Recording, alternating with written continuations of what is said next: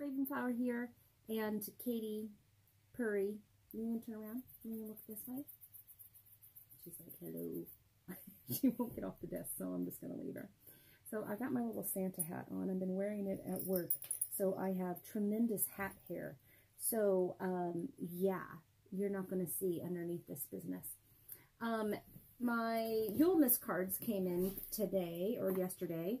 So I'm super excited about them. So I'm going to get these ready for family and um, some friends. I have to tone it down because I don't make the money I used to make. And so um, reality check in life.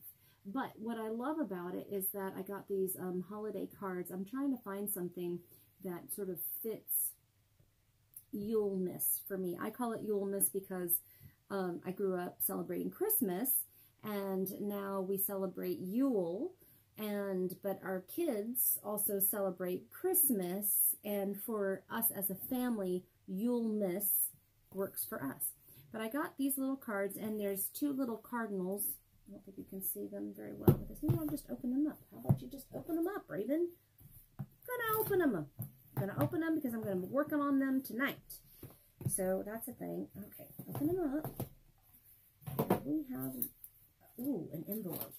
Ooh, ah, okay. Oh, that's why I couldn't see them because they have this fancy little paper on them.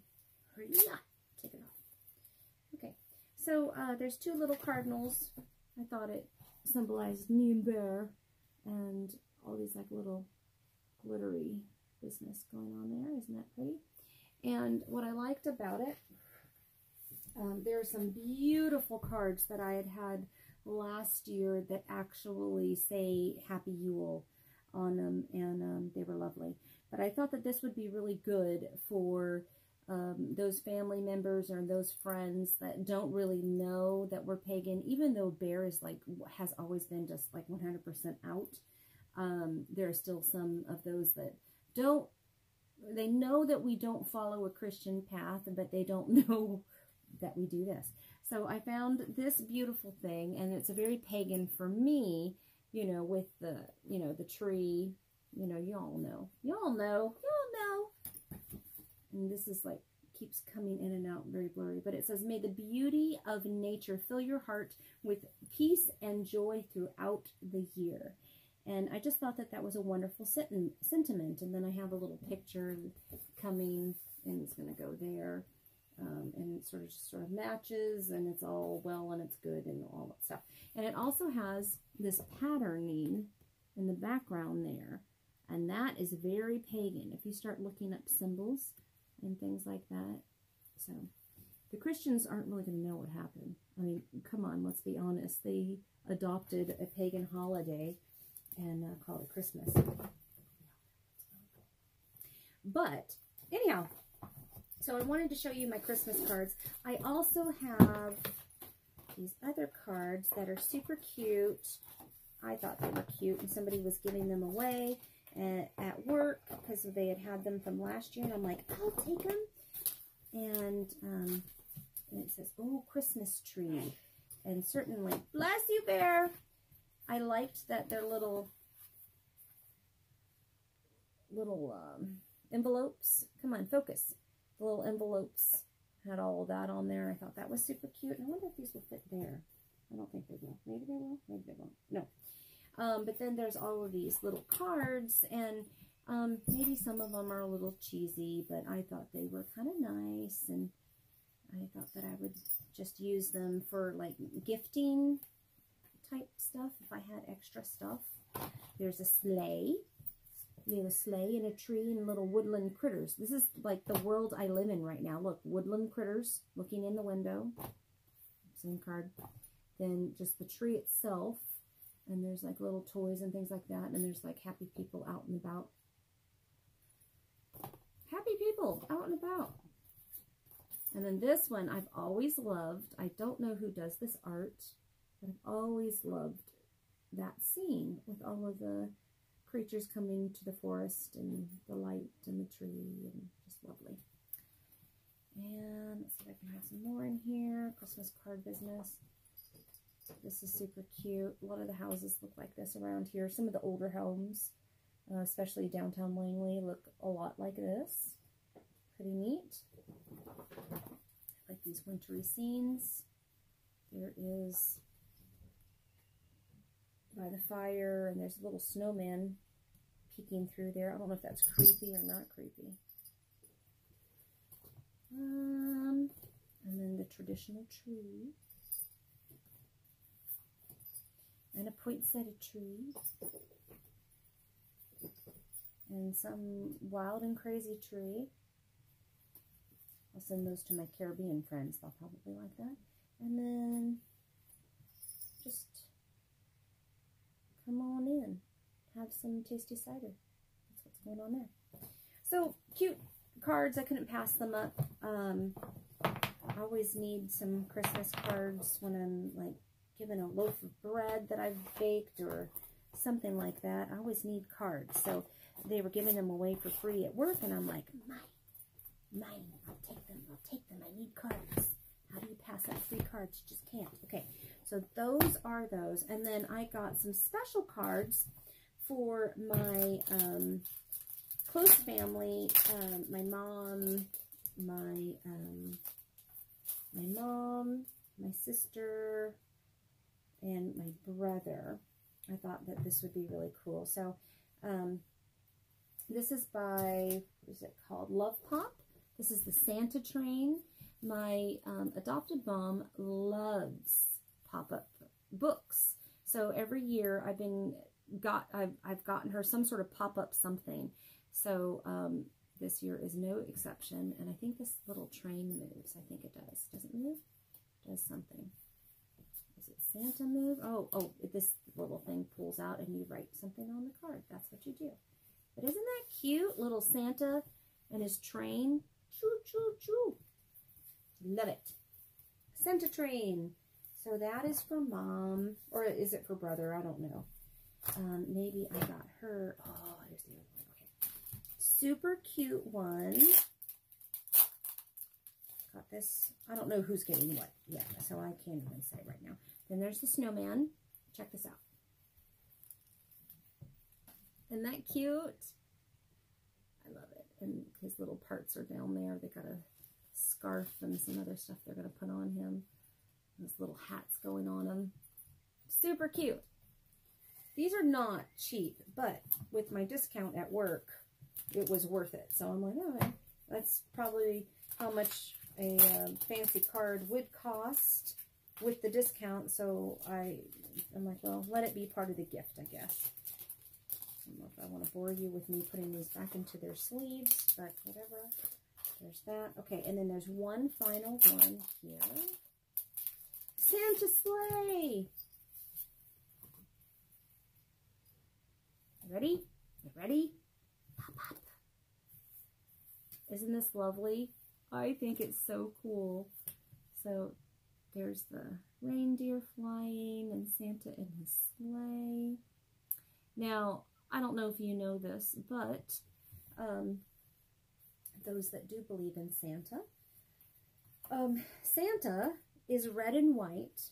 And I know this because I used to collect the memorabilia and I still have some stuff. But um, Santa, Santa, the red and the red and the white thing, somewhere in the 1940s, I think it was like 1943, 1942, Coca-Cola was looking for an ad campaign. So they took Father Christmas, who was based off of Odin, and they um, removed the eye patch, and you know, then he became Father Christmas um, for the Germanic regions and things like that. So then Father Christmas then became the Santa, the red and white Santa that the commercial um, realm now knows him as.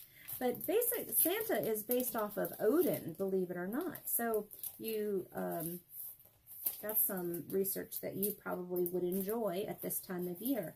A lot of people really hate this time of year. I don't know if you guys remember um, Lady Grave Dancer and I going live last year at this time, in fact. Um, around this time, we were talking about how much we loved this uh, time of year. It is a lot of work. I'm not going to lie. It is a lot of work and it's a lot of planning. It's a lot of stress. It can be a lot of stress. um, if you allow it to be. Um, I'm very excited for us in our new life, you know, living a little bit more simply. Um, I'm, you know, a little sad that, you know, we don't have the space to have as many people at our home as maybe I would like. But I think that I have to sort of just get over myself in regards to that. But, you know, for 17 years, we had a great big huge house and everybody was over at the house all the time. Um, my husband um, had a gaming group. He plays D&D, Hackmaster, you know, those um, RPGs. And, um, you know, we're building a group here um, to do that um, here at this home. And I'm excited about it because I'm getting to know some of the people at work that are choosing to be a part of this little gamer group but it's also um, giving my husband a sense of normalcy because it's something that he's been doing since he was in high school. Um, it's not really my thing, but I'm willing to try. The last time I did this, I think I was in mom mode. So now I'm not in mom mode anymore. Um, so maybe I can actually enjoy it. So I'm excited about that. So our small little home is going to start having people in it um, this coming week. So um, exciting for that. Yeah, go ahead. Walk all over my desk. Sure, sure. Um, something else, let's see, I wanted to talk about. Oh, I, we are only going to have one kid join us for the holidays this year. I'm grateful for that, but I knew last year that um, we just weren't all going to be together. It was going to be a while before we were all together again. So um, uh, I'm just going to really look forward to February timeframe when uh, I get uh, we get to go and spend you know about five days in San Antonio and visit the kids and all that other stuff, and then we jump on the cruise for the witchy meet and greet. And I'm super excited about that. So that's four days with friends, and then five days with family, and it's just going to be great.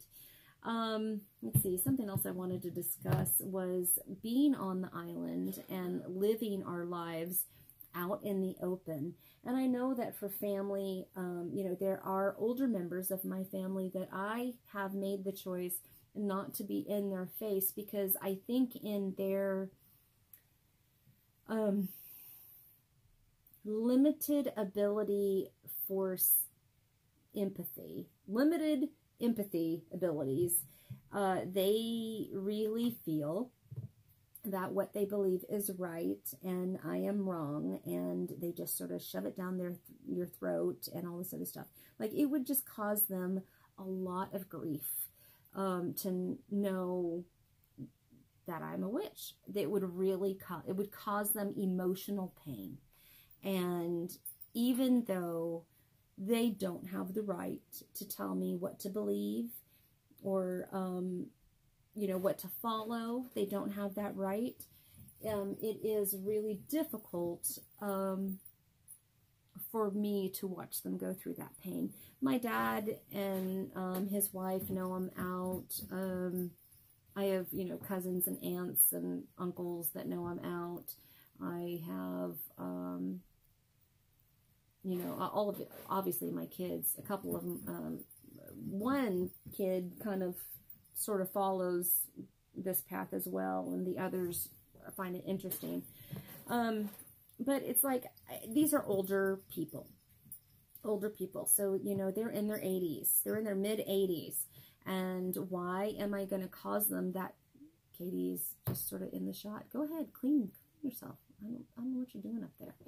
Anyhow, I don't want to cause them emotional pain, so I choose to at least for the holidays, that's when I really communicate with them. So I'm just not going to rock the boat. But here on the island, everybody at work knows that I'm um, that Bear and I are pagan. Most of the people in the community know that we're pagan. Our neighbors across the way, um, you know, saw that we were putting stars on our house, and they're like, "Hey, by the chance, are you a witch?" and you know that kind of stuff. We had a whole conversation about it. So our across the street neighbors totally understand and get it and also follow similar belief systems which is awesome. And um, you know most of the people in the community are just greeting each other. I have been told twice today by separate customers twice happy winter solstice to you. And I'm like, happy solstice. You know, uh, Bear has been saying happy Yule to everybody. And the, the, the response, the response in Texas would be like, what? It's Christmas. Don't you know it's Christmas? And we're like, it's really not, but okay. Um, how do you deny a season? Right? Really? That's, that's really, but you know, you got people that are, you know, so pissed off at Starbucks because their cup is just red. oh, like, come on, come off it. Anyhow, there's bigger things to be upset about. But here on the island, there are so many witches. There are so many pagans. There are so many people that um, just totally believe um, that somebody has the right. What are you? Wow, what are you wearing? Happy little, Yule. Pointy hat. but I mean, right, babe? They're just so open. Everybody's just so super open to Yule, Yuleness, Christmas. I don't take offense if somebody says Merry Christmas to me because I'm just so thrilled that somebody bothered to share something joyful. You know, that there was something joyful being said in my direction. I'll take it all day long. Absolutely. I know what Christmas really is. It's Yule. I'll say Happy Yule and they'll pause just briefly and they'll get this big smirk or grin or joyful feeling and they'll go, Happy Yule. Happy Yule. yeah. Yeah, Yule you too. I mean, that's how, it's just been great. It's just been great. Um, for those of you, Katie, for those of you that feel that this time is just like so oppressive and, or maybe you don't have the family to share it with, there are friends you i mean there are people out there that you know are craving attention and time um, from others. You know, start a game night. You know, start with that. Something small. Maybe it's a movie night or you want to share your show. Maybe you've got cable and somebody else doesn't and you just want to have some snacks and, you know, you just sort of, you know, bring this cat. Do you really want to be on camera? You are cracking me up right now, Missy. Okay, you come down over here. Come on. Come on down over here. Sorry kitty butt in your face. Um, anyhow, I mean, start with something small. I mean, maybe they just need attention and time, just like you need attention and time. And maybe you're sharing in um, in a show that they want to watch, or maybe they don't know about, but maybe it's a similar interest. And you can, you know, put on a pot of soup and have them bring biscuit, biscuits or cornbread or something like that. You know, start um, start a small group uh, for gaming if you wish, or maybe a book club or something, something that is awesome, that you feel is awesome. Maybe it's an herbal healing group. You want to share some knowledge. Maybe it's a gardening group or whatever. Um, there's different ways to share in the season and all seasons, not just this one. But um, people need people. Um, you can't be a recluse in your house 24 7. Uh, you're going to go crazy. Um, and it's really nice and it's really rewarding. It's really refreshing. It's really renewing to share your belief system with others and have it be reciprocated. It just is wonderful. It's a wonderful thing. And I feel that people are more open um, this time of year to love, to new beginnings, because the new year is right around the corner. Um, people are more open to receive love and people are more open to give love this time of year. Um, it's just an amazing time of year. And that I truly feel is the magic of the season. It just is magical to me.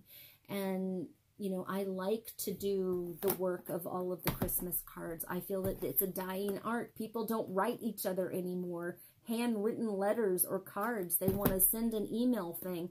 And there's it's wonderful that they do that because it's the thought that counts. But I try to keep some of the old things going just because it's important to me. And I know that it brightens somebody's day when they receive it on the other end. I just, you know, like to do that. Um, you know, there's the other traditions that I think I shared with the food.